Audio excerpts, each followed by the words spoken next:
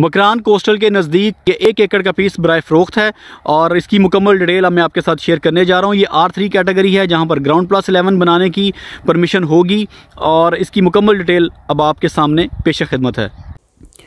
बिसमीम अल्लाम property traders. मैं हूँ मोहम्मद अजीम और आप देख रहे हैं प्रॉपर्टी ट्रेड डॉट पी के का यूट्यूब चैनल। ये आप जो अपनी स्क्रीन के ऊपर देख रहे हैं, ये ग्वादर का मास्टर प्लान है। इसके अंदर अगर आपने मेरी पिछली वीडियोस देखी हैं तो मैंने आपको बताया था कि Gwadar master plan phase one कौन सा है फ़ेज़ टू कौन सा है और फ़ेज़ थ्री कौन सा है। तो आज जो मैं आपके लिए प्रॉपर्टी या इन्वेस्टमेंट अपॉर्चुनिटी लेकर हाजिर हुआ हूँ, वो है Gwadar master plan phase one के अंदर। मास्टर प्लान फ़ेज़ वन का जो दौरानिया है, दो हज़ार बीस से दो हज़ार पच्चीस तक का है। जीडीए मास्टर प्लान के मुताबिक या जीडीए वर्कशॉप के मुताबिक। तो उसमें जो सबसे प्राइम कैटेगरी है रेजिडेंशियल जोन के अंदर वो है आर थ्री जैसे कि आप देख सकते हैं कि आर वन है आर टू है और आर थ्री है।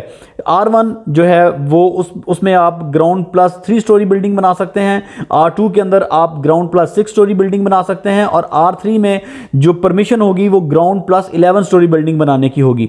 तो ये जो प्रॉपर्टी मैं आज आपके साथ शेयर करने जा रहा हूँ, ये एक एकड़ का पीस है जो आर थ्री कैटेगरी में है। ये ग्वादर मास्टर प्लान के किस जगह पर वाक़ है, ये भी आपके साथ शेयर करूँगा। और ये इसकी जो गूगल मैप के ऊपर जो इसकी डिस्टेंसेज हैं, मिसाल के तौर पर एयरपोर्ट से ये कितनी दूर है, ये एयरपोर्ट है। और सुरबंदर से ये कितनी दूर है? ये सुरबंदर का शहर है। मकरान कोस्टल से कितनी दूर है? एक्सप्रेस वे से कितनी दूर है? तो ये तमाम तर चीज़ें मैं अभी आपके साथ शेयर करने जा रहा हूँ और फिर मैं ऑन ग्राउंड जाऊँगा और आपको तमाम तर जो ऑन ग्राउंड चीज़ें हैं वो भी आपके साथ शेयर करूँगा।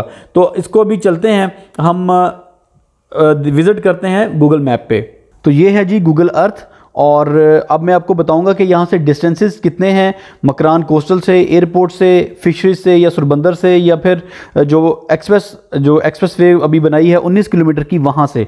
तो ये आप देख रहे हैं, ये वो लैंड है, इसका ये ये वो लैंड है जो आपके साथ मैं शेयर करने जा रहा हूँ और इसका जो ये मकरान कोस्टल हाईवे है, ये मकरान कोस्टल हाईवे है, ये इसका इंटरचेंज है एक्सप्रेस वे का जो मौके पर इस वक्त बन रहा है और ये एयरपोर्ट है जो आप अपनी स्क्रीन के ऊपर देख रहे हैं, ये एयरपोर्ट वाली जगह है, वो ये भी अंडर कंस्ट्रक्शन है और बहुत तेज़ी के साथ 24 फोर बाई सेवन काम हो रहा है और ये सुरबंदर की फिशेज़ है यहाँ पर। जब ये एक्सप्रेस वे कंप्लीट हो जाएगा ये वाला तो फिर ये इस जगह पे जितने भी फ़िशरमैनस हैं या मछेरे जितने भी हैं, फिर उनकी जेटी यहाँ पर बना दी गई है ऑलरेडी और फिर वो यहाँ से फ़िशिंग के लिए निकला करेंगे।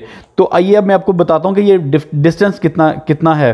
तो इसको अगर हम इसका इसको हम नापते हैं तो ये देखिए तकरीबन 0.48 यानी आधा किलोमीटर से भी कम है ये मकरान कोस्टल का एरिया और इस, इसी तरह अगर हम एयरपोर्ट का एयरपोर्ट एयरपोर्ट का तक एयरपोर्ट का साइज़ लेते हैं या डिस्टेंस नापते हैं तो तकरीबन साढ़े पाँच किलोमीटर का फासला है और अगर हम मकरान कोस्टल से जो एक्सप्रेस वे बन रही है, वहाँ का फासला मेजर करते हैं तो तकरीबन पौने तीन या तीन किलोमीटर तक का फासला बनेगा और इसी तरह सुरबंदर का जो एरिया है या फिशेस तक का पहुँचने का एरिया तकरीबन चार सवा चार किलोमीटर है।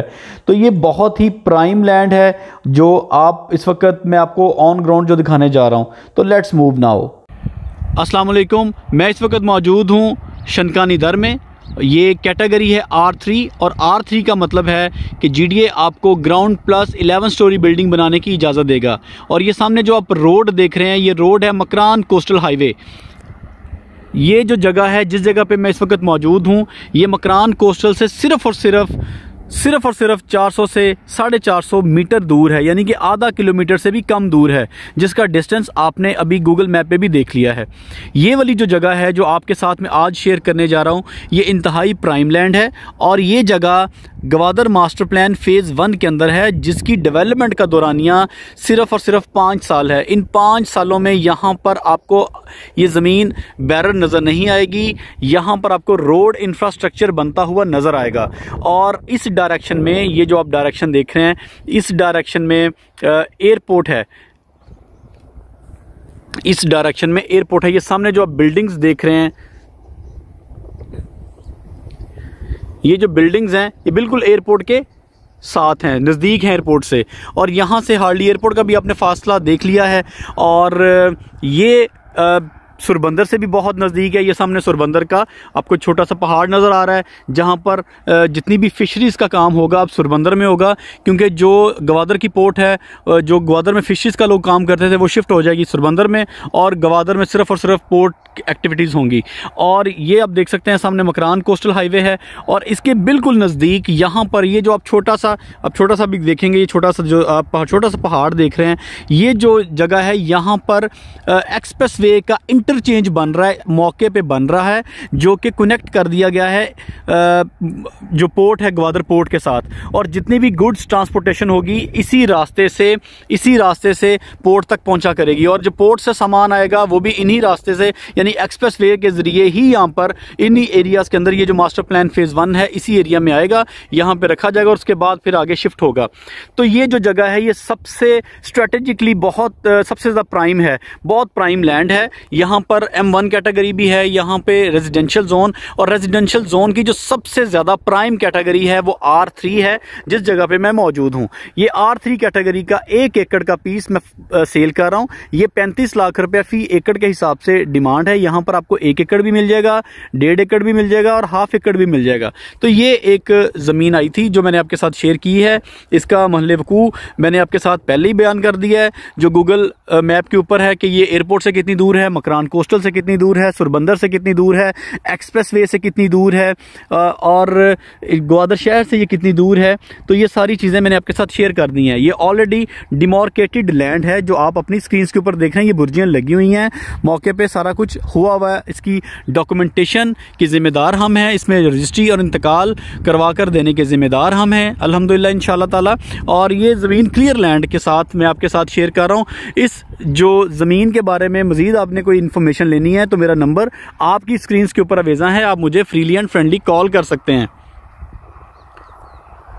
तो ये जी वो लैंड है जो आप अपनी इस वक्त स्क्रीन के ऊपर देख रहे हैं। एग्जैक्टली exactly यही लैंड है। इसकी व्हाट्सएप लोकेशन चाहिए हो, तब भी आप मुझे कॉल करके व्हाट्सएप लोकेशन ले सकते हैं। तो ये Gwadar master plan phase one के अंदर आर थ्री कैटेगरी है मोजा शनकानी दर है खसरा नंबर एक सौ बाईस है।